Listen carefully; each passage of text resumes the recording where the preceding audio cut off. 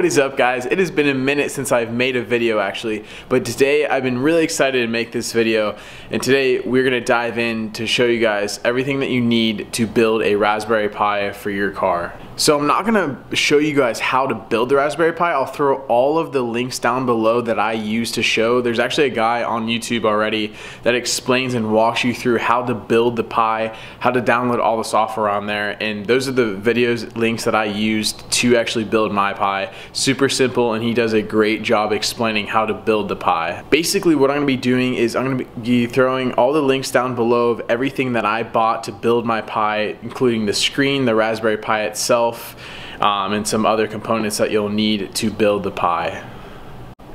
So the reason that I built a Raspberry Pi was because I was kind of going back and forth of like how do I want to display my gauges in my car. I already have a boost gauge and I have an AFR gauge um, which the Raspberry Pi can display too because it's running off uh, Megasquirt which is running through Tuner Studio which we'll get into a little bit later. But basically is I don't have a my coolant gauge or temp gauge does not work on my car and tachometer gauge doesn't work right now on my car so I had to buy a temp gauge, which if you want to buy like a pretty decent gauge or a gauge pillar, it's to cost pretty much a little bit more than this whole setup, um, or can cost around the same thing. And I was like, man, this is really cool. I can tune on the fly, and um, this is just a better option for me. So that's why I decided to build a Raspberry Pi. I um, haven't really ever built like a computer before. I guess that you could say like this isn't like extensive like building like a gaming computer or anything like that. It's a small little computer. Um, so I was pretty new to it and um, I was like, man, I guess it's the first time, so I'm gonna go ahead and try. I had some help uh, from Yanni because he did have, uh, he did build one for his car as well, but he gave me all the links of everything that I needed to buy and uh, basically that's what I'm gonna be going over today and I'm gonna show you guys how I set it up in my car. So getting right into it, the whole cost for everything, just for the Raspberry Pi stuff that you're gonna need is gonna cost you about 120 bucks, which is not too bad if you compare it to like other gauges that you have to buy. Um, and like I said, the gauge pillar before. So what you're gonna get is you're gonna get a Raspberry Pi screen, which this is gonna connect, uh, the Raspberry Pi itself, the Pi will connect to the back of this screen. And um, like I said, I'll drop everything down below in the description for all the links. Next is, this is a case um, that you'll get with the Raspberry Pi. Uh, or this is another thing that you want to get. This is a case that includes the Pi and the screen. Um, it's a nice black hard case that you can uh, that you'll get. Another thing that I didn't include in the $120 price is this is just you want a slim keyboard and you want a Bluetooth keyboard. Um, I just got this one from Walmart. It was like 15 bucks, and you'll want to do this because the Pi doesn't have a keyboard. It is touchscreen but you'll want to uh, have a Bluetooth keyboard so you can actually type and tune on the fly or if you have to do anything like that. Now I actually don't have the box for the Pi because I actually already threw it away, but it literally is probably like a box like this size and the Pi comes in that and then from there, like I said, I'll throw all the links down in the description below of how that you're gonna be building the Pi and adding all of the software and operating system onto the Pi. So another big question that comes up is how am I still gonna have a radio in the car because the Raspberry Pi is like seven inches and it's a pretty decent size to fit in that tombstone area. Um, so there's gonna be two options that you can go with. So I went with, uh, I, I, bought this, which is the option I was going to go with, which is an amp, which allows you to still have an aux cord.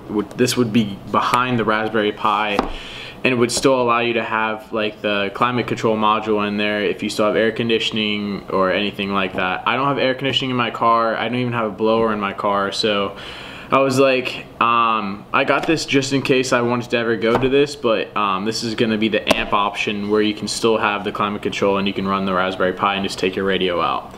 The option that I went with is I took out the climate control because like I said, I can, I can always put it back in or I can just use uh, wire up a switch for my blower um, just because I don't have AC in the car and I don't have a blower currently. I probably will put one back in just because uh, just for raining and all that like blowers needed in the car. But I went with just putting the Raspberry Pi in there and just leaving my head unit because um, that was the best viable option because I wanted Bluetooth still in the car to play like uh, songs and like radio and stuff to connect to my phone. Other than that guys like it is a pretty simple setup and it doesn't take too long to build. Like I said everything that I just discussed will be in the description below. All the links um, to the Raspberry Pi the screen the case the amp, um, I mean, for a keyboard, you can just find on the Amazon too. Just make sure it has Bluetooth, and it's pretty small too because like you want to keep it in your car. So, other than that, um, let's go ahead and go downstairs, and I'll show you my setup. So one more thing that you guys are gonna need is something to power the Raspberry Pi. So you're gonna need something for power, which is you're gonna need at least three amps or I think it's like 2.5, but this uh, specific one that plugs into the cigarette lighter is uh, 3.4 amps that I have, and it gives it enough power to start up and run and everything um, for the Pi to work. So basically getting into my setup, you guys can see like, uh, you got boost here, AFR, and this is just goes into stock vents of a Miata. Um, and then this whole thing is the tombstone. Well, usually you have the climate control settings and then you have like the radio below that. And what I did was, so this is a modified tombstone, and I'll show you guys, this is a stock tombstone on a Miata. Well, a screen's not gonna fit here because the Raspberry Pi has a big back on it. So what I did is I bought another tombstone and I cut right here and I cut right here and I cut this middle beam out, which then allows the Pi screen to sit up here where the climate control settings used to be. And that's actually the climate control right there uh, module that I took out. And then I just, and this is usually where the radio goes and I, you can see that I still have my head unit in here. And uh, there's still a little bit of space in here where I can put my phone and everything, but the Pi sits on here nicely. How I mounted it is, I'm definitely gonna be changing this in the future, but I did Velcro and it's really on there. The screen doesn't move at all when I drive hard or anything like that. And I did Velcro because I can always take the screen off like on and off if I have to get behind it or if um, I have to move the screen or fix the Raspberry Pi like that. So it, I definitely like it because it is removable. But like once the Raspberry Pi is in there, all it needs is you're gonna have a power um, which is going to be USB to, to, plug into the back. So it's only literally two wires, and one of them is a USB from your Megasquirt into the Raspberry Pi, and then the other one is the power cable. And those are only cables other than those are the only cables that you need to actually power the Raspberry Pi. So I'll show you guys the startup um, of the Raspberry Pi. So I'll just turn it, turn the key on and uh, you'll see like it, the power is coming on. You can see my radio is coming up too.